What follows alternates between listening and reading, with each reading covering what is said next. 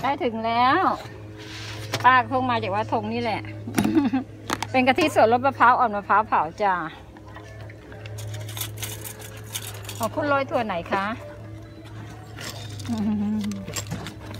ใส่แล้วค่ะคุณอยู่ตรงกลางนะคะ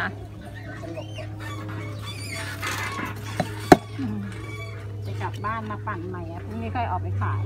ป้าขายอยู่หน้าวัดสะทงอะ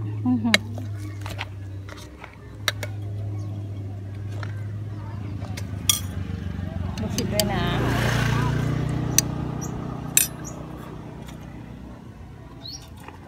อร่อยกว่าไอติมถ้วยละ250ไหมอะก็จะอย่างกัน อันนั้นเขาใส่วิปปิ้งครีมเยอะของเรากะทิ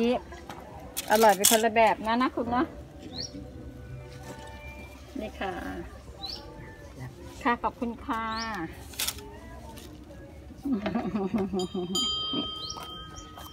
รถค่ะรถรถคุณคุณลลูองกรถนะครับ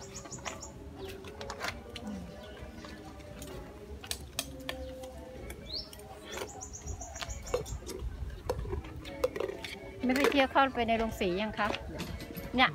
เดี๋ยวเลี้ยวตรงถังขยะนี่ก็ได้นะ หรือจะไปซอยตรงนู้นจะมีซอยคุณเลี้ยวซ้ายเลยนะคะ ลงไปจะมีร้านอาหารมีร้านกาแฟค่ะคุณ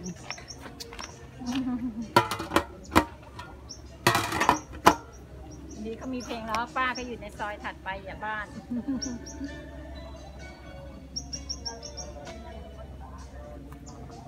ไงก็หาเจอกับป้าขายจอดหน้าวัดสะทงนั่นแหละ หน้าหน้าวัดเลยขอบคุณหาทอดกระถินไม่เวลามานะป้าเลี้ยงไอติมวันที่ 17 เดือนหน้าค่ะ เอ๊ะ17 ตุลาเนะออกพารษา